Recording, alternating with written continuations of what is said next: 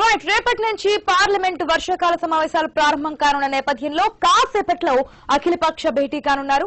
ఈ మేరకు ఇవాళ అన్ని పార్టీల ప్రతినిధులతో కేంద్రం సమావేశం కానున్నట్లు తెలుస్తోంది. పార్లమెంట్ సమావేశాలకు ముందు కేబినెట్ సీనియర్ మంత్రులు సభా వ్యవహారాలు సజావుగా సాగేందుకు సహకరించాలని అన్ని పార్టీలను కోరడం ఆనవాయితీ. చాలా సార్లు ఈ భేటీకి ప్రధాని సైతం హాజరవుతుంటారు. ఈ క్రమంలో ఇవాళ జరిగే సమావేశానికి ప్రధాని మోదీ హాజరయ్యే అవకాశాలున్నాయి.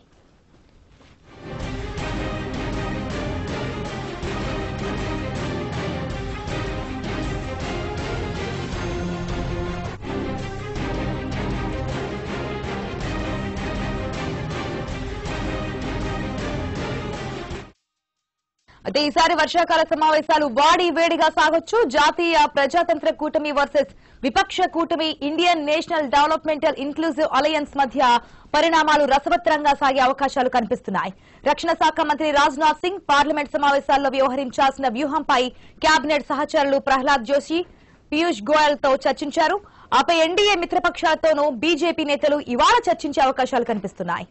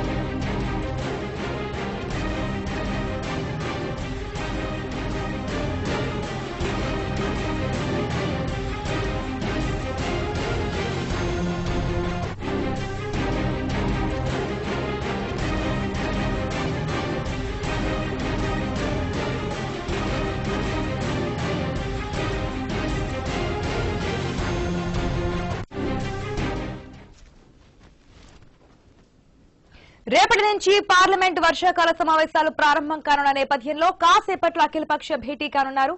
ఈ మేరకు ఇవాళ అన్ని పార్టీల ప్రతినిధులతో కేంద్రం సమావేశం కానున్నట్లు తెలుస్తోంది. అయితే పార్లమెంట్ సమావేశాలకు ముందు కేబినెట్ సీనియర్ మంత్రులు సభ వ్యవహారాలు సజావుగా సాగేందుకు సహకరించారని అన్ని పార్టీలను కోరడం ఆనవాయితీ. చాలా సార్లు ఈ భేటీకి ప్రధాని సైతం హాజరవుతుంటారు.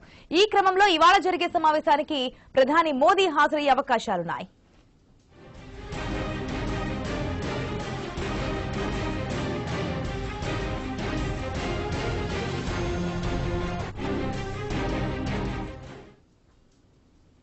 రైట్ మరి కాసేపట్లో అఖిలపక్ష సమావేశం జరగబోతుంది. దీనికి సంబంధించి పూర్తి డీటెయిల్స్ మా ప్రతినిధి రామకృష్ణ అడిగి తెలుసుకుందాం. Good morning Ramakrishna. డీటెయిల్స్ ఏంటి? అయితే పార్లమెంట్ సమావేశాలు ప్రారంభం కానున్న నేపథ్యంలో అఖిలపక్ష సమావేశం నిర్వహిస్తున్నారు. మరి అఖిలపక్ష సమావేశానికి అన్ని పార్టీల నేతలు కూడా హాజరవుతారు మరి హాజరైన తర్వాత పార్లమెంట్ సమావేశాలు సజావుగా నడిచేందుకు అందరూ సహకరించారని చెప్పేసి కూడా అఖిలపక్ష సమావేశంలో అన్ని పార్టీల వాళ్ళని కోరుతారు. మరి అయితే ఈ అఖిలపక్ష ఈసారి పార్లమెంట్ సమావేశాలు మాత్రం చాలా రస బాసగా జరిగే అవకాశాలు ఉన్నాయి. ఎందుకంటే నిన్న చూసుకున్నట్టుగైతే ఆ, ఇటు ఎన్డీఏ గాని ఐఎన్డీఏ గాని ఇద్దరు కూడా తమ బలాబలాలను దేశంలో దేశ ప్రజలకు చూపించుకున్నారు. తమ వెనకాల ఎంతమంది పార్టీలు ఉన్నారు ఏంటి అనేది. మరి ఈ నేపథ్యంలో ఈ మీటింగ్ అఖిలపక్ష సమావేశం తర్వాత అఖిలపక్ష సమావేశం జరిగినా ఏది జరిగినా కూడా ఈసారి అయితే మాత్రం ఇటువంటి పరిస్థితుల్లో కూడా కేంద్రానికి అసలు సహకరించే అవకాశం అయితే కనిపించలేదు విపక్షాలు. ఏ బిల్లులు కూడా పాస్ అయ్యే అవకాశం ఉండదు. అలాగే ఇక హౌస్ కూడా ఎంతవరకు నడుస్తుంది అనేది కూడా చూడాలి. ఎందుకంటే గతంలో గత అనుభవాలు కానీ గుర్తు చేసుకుంటే మాత్రం గతంలో ఇలాగే ఆ, చాలా సార్లు కూడా పూర్తి స్థాయి సెషన్ జరగకుండానే పార్లమెంట్ ముగిసిపోయింది. ఈసారి ప్రతిపక్షాలు చాలా ఖచ్చితంగా ఉన్నాయి. కేంద్రం కేంద్ర ప్రభుత్వం మీద మరి ఈ నేపథ్యంలో ప్రజా సమస్యలను ప్రజా వ్యతిరేక విధానాన్ని అనుసరించిన కేంద్రంపై ఈసారి పోరాటాన్ని పోరాటానికి సమరసంగా పూరించారు. మరి బెంగళూరు వేదికగా మరి ఈ నేపథ్యంలో ఈ పార్లమెంట్ సమావేశాలు శీతాకాల సమావేశాలు చాలా వర్షాకాల సమావేశాలు చాలా రస బాసగా జరిగి గందరగోళం సృష్టించే అవకాశాలు ఎక్కువగా కనిపిస్తున్నాయి. Ramakrishna thanks for the update